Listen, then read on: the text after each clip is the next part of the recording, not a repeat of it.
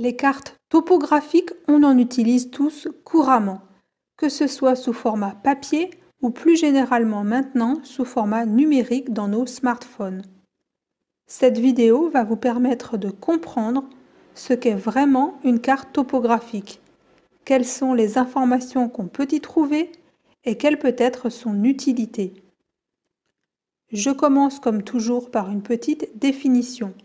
Le mot topographie vient du grec topos, qui veut dire le lieu, et graphein, qui veut dire l'écriture. Littéralement, une carte topographique permet donc de représenter ou de dessiner les lieux.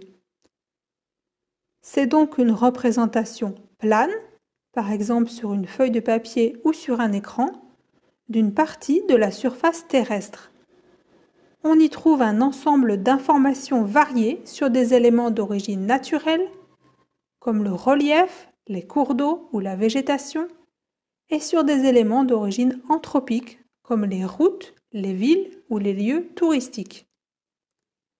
En prenant pour exemple la carte topographique de Guelma, je vous propose de voir tout de suite quels sont les éléments importants présents sur ce type de carte, mais je commence par un petit historique.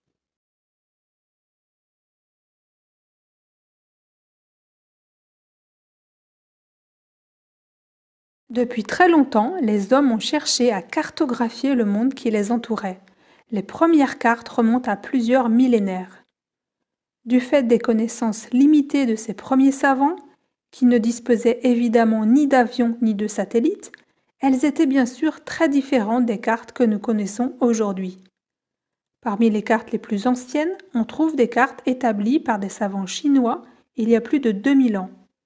Puis viennent ensuite des cartes établies par des savants grecs ou romains, dont la carte de Ptolémée, établie vers 150 après Jésus-Christ, est redécouverte plus de 1000 ans plus tard.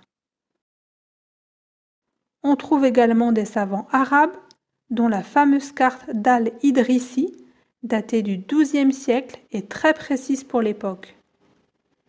Les premières cartes modernes commencent à être établies aux alentours du XVe ou XVIe siècle avec une précision parfois remarquable pour l'époque, qui voit aussi se développer les premières écoles de cartographie, par exemple en Espagne ou en France. Nous voyons ici la carte du monde établie par le flamand Mercator au XVIe siècle.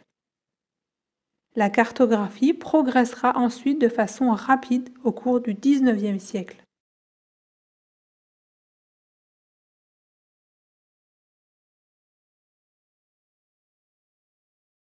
Voici tout de suite ce qu'on trouve dans le cadre, c'est-à-dire tout autour de la carte. Parmi les informations importantes, vous avez bien sûr le titre et le numéro de la carte, la légende qui donne la signification des principaux symboles utilisés sur la carte, les méridiens, les parallèles ainsi que des systèmes variables de repérage, comme par exemple le quadrillage kilométrique Lambert, la direction du nord géographique et du nord magnétique, ou encore l'échelle de la carte, généralement indiquée de façon numérique et graphique. Sans oublier bien sûr la valeur de l'équidistance de la carte, le type de projection cartographique utilisé ou encore la date d'édition et l'organisme responsable. Sur la carte maintenant, il existe différentes catégories d'informations qui sont indiquées avec des couleurs précises. En bleu, on trouve toutes les informations liées à l'hydrographie, c'est-à-dire tout ce qui a un rapport avec l'eau, comme les cours d'eau, les lacs, les sources ou encore les océans. Les oueds, qui sont des cours d'eau temporaires, sont indiqués en ligne pointillée. En vert, ce sont évidemment les informations relatives à la végétation, comme les forêts ou les zones cultivées.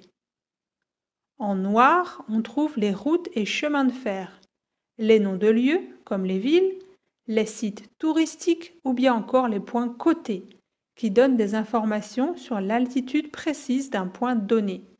Les routes peuvent aussi être colorées de façon différente en fonction de leur importance. Ici, les routes nationales, par exemple, sont en rouge et les routes secondaires en jaune. Enfin, en marron bistre, qui correspond à marron jaunâtre, Ce sont les informations relatives à l'orographie, c'est-à-dire tout ce qui a un rapport avec le relief. Il s'agit des courbes de niveau qui peuvent avoir une épaisseur variable et se présenter sous forme de lignes continues ou de lignes pointillées. Ces courbes sont très importantes car elles permettent de construire les profils topographiques. S'il existe d'autres types d'informations, elles seront bien sûr indiquées dans la légende.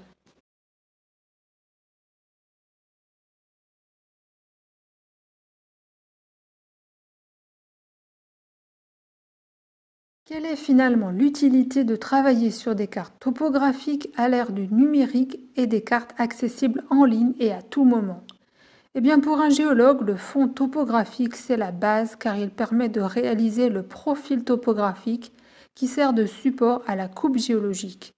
La carte topographique permet aussi de se repérer précisément sur le terrain ou de choisir par exemple un lieu d'échantillonnage en fonction du relief ou de la facilité d'accès. Elle peut bien sûr être accompagnée d'outils numériques comme le GPS qui permet de confirmer une position et de la partager facilement à tous.